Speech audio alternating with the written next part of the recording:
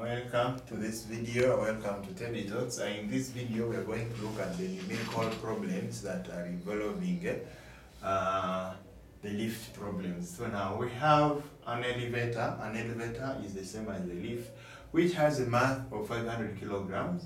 Uh, we are told to calculate the tension in a string when the elevator is one, stationary, two, moving upwards with an acceleration of 2 meters per second, and then 3 when it is moving downwards with the same acceleration of 2 meters per second square. Now, um, this is a simple thing. Solution. Let's look at the solution. Roman numeral 1. If I sketch that this is uh, the mass, this is the elevator. Uh, if the elevator, uh, we said that the mass of the elevator mg will act downwards and uh, the tension in the string that is pushing uh, the elevator upwards should be equal to what? Should be equal to the reaction of the what? Of the weight. Now, uh, if the elevator is stationary, we say that acceleration is zero. Now, uh, if the acceleration is zero, what does that one mean? It means that uh, the net the net resultant force the net resultant force F is also equal to what? Is equal to zero. What does this mean? It means that uh, T minus mg should be equal to zero. If or mg minus t should be equal to zero, which implies that t is equal to mj. So our mass was given as 500 times g, which is 9.18. 1. And you remember I told you that the value of G we use is 9.80. 1 unless specified other ways. In advanced level physics, the value we quote is 9 of G is 9.81 unless as state quoted otherwise. So we see that our force or the tension in the cable is 4,905 newtons. When the lift is stationary, that is when the lift is what? Is stationary. Now let's look at scenario number two, when the lift is moving upwards. So, Roman numeral 2, when, if this is the lift or the elevator and it is moving upwards, we know that the weight of the elevator will push it uh, downwards and the acceleration is pushing it upwards. Now what do we know? For upward motion, for upward motion, the tension in the cable must be greater than the weight of the cable. So we can go and say that for upward acceleration, for upward acceleration, comma, the tension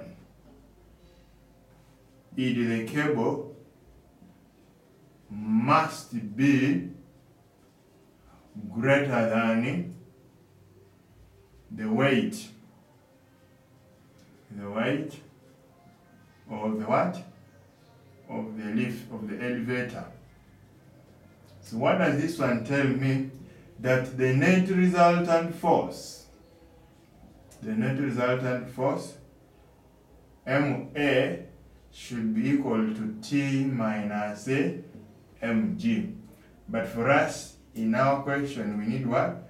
We need T. So T is equal to MA plus uh, mg. So this is the same as M into A plus g. Therefore, the mass we know was 500. They say the acceleration was 2.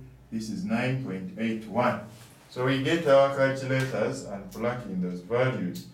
Uh, 500 bracket uh, 2 plus 9.81 uh, it gives us the tension in the cable to be 5905 newtons that will be the tension in the cable when the elevator is moving upwards. Now, uh, let's look at uh, question number, I mean Roman numeral 3.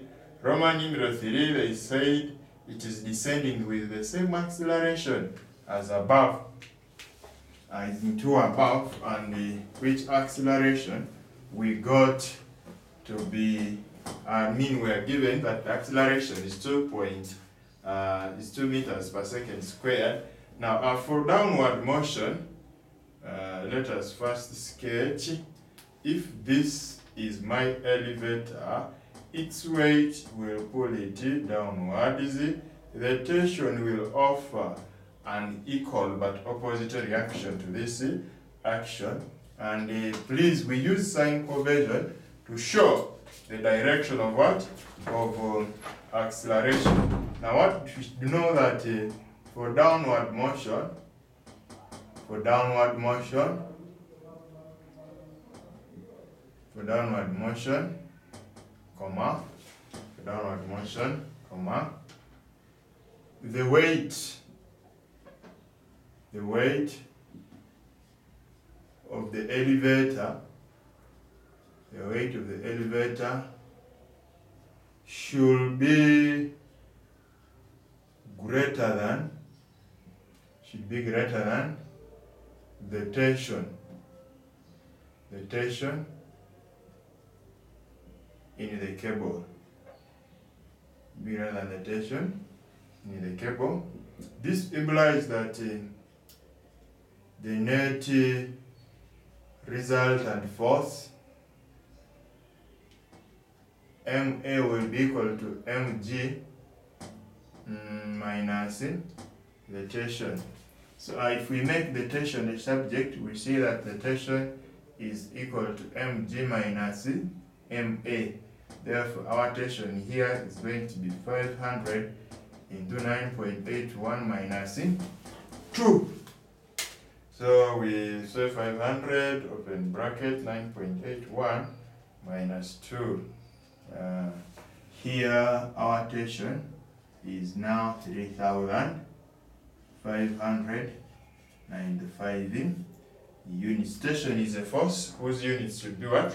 Should be newtons. So, uh, guys, that is the how we could uh, we could go about that question. It is as easy as that.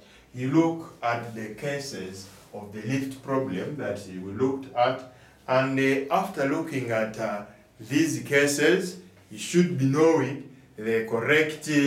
You should be knowing the correct expressions, and then substituting. You substitute in uh, those expressions the moment you substitute in those expressions right, uh, you'll calculate your correct answers.